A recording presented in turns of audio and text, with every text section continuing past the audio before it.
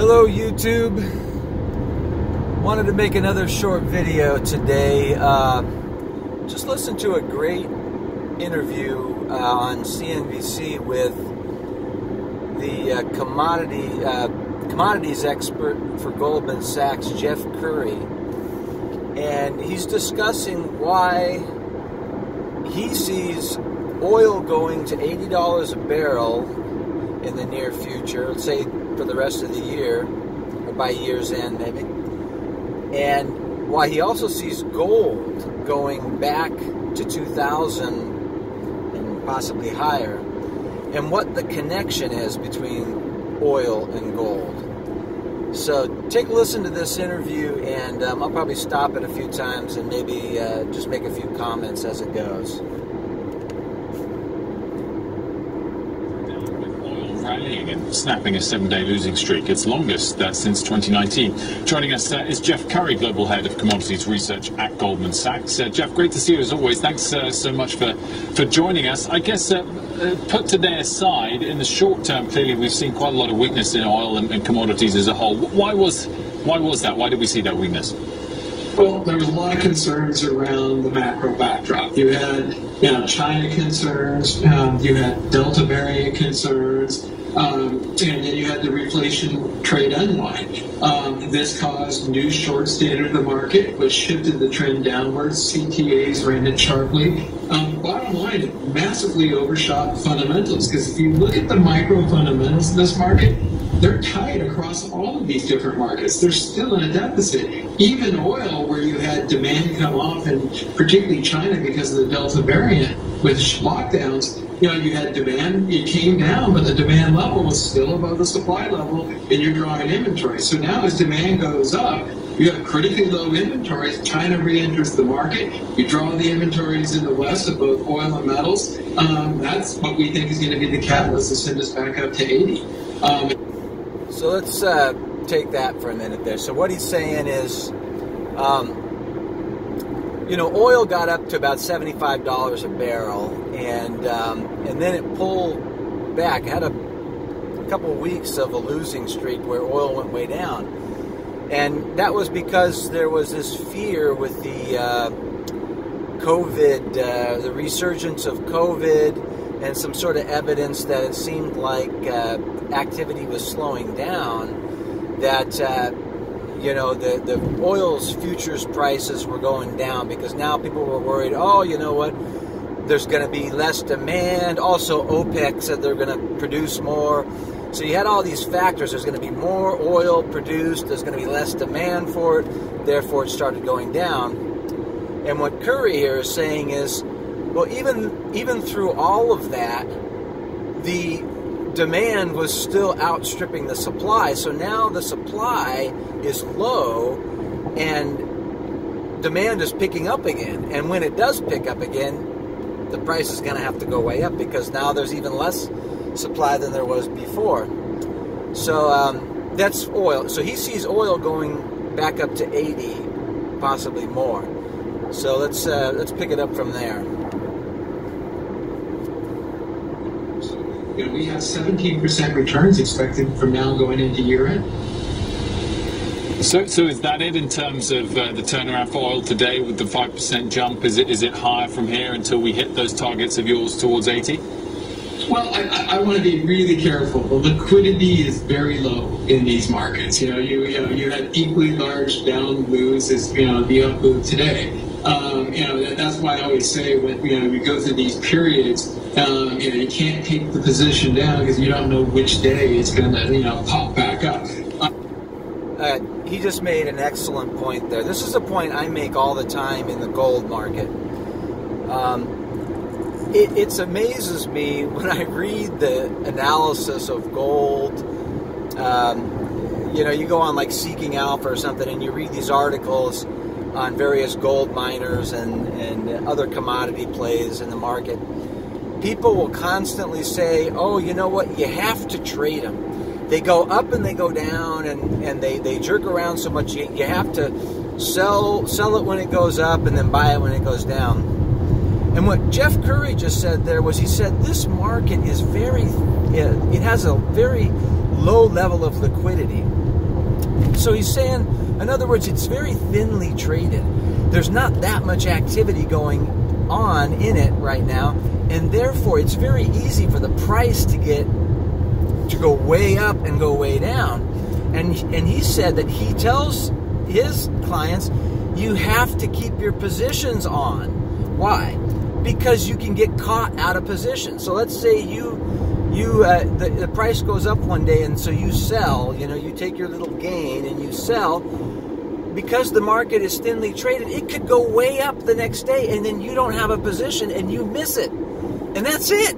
You're you're out you know? You missed the train you know? You were yeah you missed the rocket ship. Tough luck. Now you're out and you missed that positive possible big gain to take a little tiny gain. So this is this is what I always say. I don't try to hop in and out all the time. I'm not saying you can't do that with, you know, some stock stuff, but don't sell your whole, don't get totally out of the market and then miss a huge move up. You know, half the time it'll happen in the middle of the night when the U.S. market isn't even open. Uh, you know, when they're trading in Australia and uh, Europe or whatever, these other places. So that's a point that he made there, which I think is excellent and we'll pick it up from there. In September, that hey, these fundamentals are going to prevail, and we end up with much tighter markets. The other thing too, on the physical side, because people were really concerned, you know, particularly given the pullback going in the last week. We had not only liquidation of paper, but we also had liquidation of inventories of both oil and metals, which put further downward pressure on the market. So, you know, now that these fears have subsided, particularly with the news out of China this this morning, um, you know, we think that that's going to take some of that macro headwind out of the market um, near term. But I want to be a little cautious. Liquidity is very low. But it kind of made sense, Jeff, even if you don't think Fed Chair Powell is going to announce a taper this week at Jackson Hole, we know it's coming. The economy has made substantial progress, so they're going to start scaling back stimulus. That's driven up the dollar. That, that pressure is crude. Why, why do you not think that dynamic will continue? Well, let's just keep going. You know, again, commodity markets are driven by levels. Even the tapering is going to mean that, hey, the liquidity is still going to rise, but just not at the same pace that it was before. And you go back to this, so critical about commodities is that financial markets are driven by growth rates. Commodities are driven by levels of activity. You know, so take, take oil after the COVID lockdowns in China. The demand growth rate declined. It went down, so financial markets react to that. The supply is down here. So the demand, even though it declined, is still above supply in your drawing inventory. So if we take you know, the tapering. You know, the tapering begins, but liquidity is still increasing, you know, putting upward pressure on that demand level, albeit at a slower pace, still is going to keep these markets tight and keep these markets in deficits. All right, so that's another key point. People are talking about this, you know, every time one of these Fed governors comes on CNBC or, or Bloomberg or whatever and says, uh, starts talking about tapering, gold sells off, commodities sell off, uh, you know, the dollar goes up. Uh, these markets are just, uh, you know, it's computer algorithms, it's stuff like this. People aren't using their brains here. Because what Currie just said there is tapering does not mean tightening. It's not the same thing, okay? There's still going to, tapering just means you slow the rate of liquidity that the Fed is pumping into the market. Liquidity is still going up. And he said that's just going to put further pressure on commodity markets because there's going to be that liquidity equals more activity, and more activity puts upward price pressure on commodities. So there's no reason for gold to be selling off. I mean, gold right now is probably the single best deal in the market. I mean, you know, you could probably put silver there too. But uh, gold and silver, you know, precious metals are way oversold. And he's going to get to gold here in just a minute. So let's pick it up there. Time you come on. When's it going to rally or fall meaningfully? Just uh, always around this 1800 level. Well, you know, it was amazing. It, it, kept its ground during this during this time period, which you know there was some defensive nature there. Well, you know, the catalyst um, I think you have to see people interested in the reflation trade, but the fundamentals the Chinese arbitrage wide open when you look at the Shanghai premium. That means the Chinese are buying um, gold. But also, when you look at emerging market central banks, you know, in 2018, it was coming from the, the, the EMs that were under political pressure, like Turkey and Russia. This time it's broad based, which means they're diversifying the portfolio. So the fundamentals really look good. You need that catalyst to move you up to our $2,000 target. Uh, which we think will have to be you know, people getting interested in the inflation trade. What could that be? oil prices. Oil prices move up to our $80 target or 85 or 90. I think that's going to bring interest back into the inflation trade. All right, so there's the key point. Uh, during this period, when there's been some sort of question about is the economy slowing down, is the Fed going to start to taper? You know, um, we've been seeing the dollar go up, we've been seeing bond yields come down. Uh, like, you know, you hear all the de- people talking about deflation and deflation would supposedly be bad for gold and commodities and all this sort of stuff. And um, so what Currie said there was two things. He said, first of all, during that whole time period, gold actually held up very well. It's held up right around 1800. It had that one dip, that one sell off um, down to. Uh, 1675. It just happened on a Sunday night, very briefly, which would be early Monday. It would have been the early Monday morning session over in Asia. Uh, and then it bounced right back. I mean, it didn't even stay. It was only down 25 bucks by the end of the day, I think. And now it's it's come back above. Today it's above 1800 again. So it's held up well during this time, and he thinks the catalyst for it to go back up to 2000 test start testing those highs we had last year in 2020 is going to be if inflation becomes a theme again. And the catalyst for that he sees is going to be oil prices. So if we see the oil price go back up past that high got up to about 75 before we see it get back up to 80 and maybe keep going that could reignite the interest in the, the entire um, inflation hedge commodity complex, if you will. We could see gold setting possibly a new all time high to uh, surpass last year's high. So, um, let's hear that's basically what I wanted to share today, but let's finish up the interview here.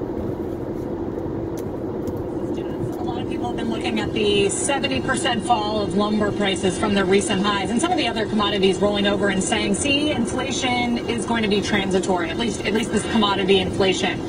Would, would you argue that? That's true. No, I mean, the, the markets that you can point to, like lumber or iron ore and steel, they're very idiosyncratic reasons for that weakness. Let's take, like, you know, iron ore, you know, in China. One, you had flooding in many of the areas that halted construction. That's going to subside. You'll get that construction activity back again. Um, and, and then when you look at the government, you know, it's locking down on the ability to produce steel um, due to environmental reasons that have nothing to do with the broader economy. So, you know, you look at what's going on in these markets, we do not believe they're a canary in the coal mine. Jeff, great to see you. Thanks for joining us. Thanks for having me. All right, so that was the final point there, which is actually another uh, good point. As far as in people talking about the inflation being transitory and pointing to things like lumber, used cars, you know, what every time there's another CPI report that comes out, you know, inflation report, the Fed and the media always has their excuse. They're like, oh, yeah, the only reason it's high is because this one thing, because, you know, used car prices were way up. But that's transitory, that's going to change. Or lumber prices were way up this time, and that's going to change. And then maybe a month or two later, lumber comes down, and they're like, see, we told you it was transitory. But as Currie points out, there's specific reasons why those particular markets rolled over there's no indication or evidence that that's going to happen broadly with all commodities. And in fact, he just laid out here why oil is going to do the opposite of that. It's going to get back up. And you're going to see that with a lot of other things. Rents are up double digits over last year, and that has not yet been factored into CPI. Um, and a lot of other things we're going to be seeing. Uh, renewed uh, supply chain shortages due to uh, COVID resurgence in China and Vietnam and these other places where all of our goods are made these days. So, anyways, that was the news for today. Look for oil to head back up and hit $80 or higher. And when that happens, or maybe even before at some point, expect to see gold go back up above 2000 All right, we'll catch you guys next time.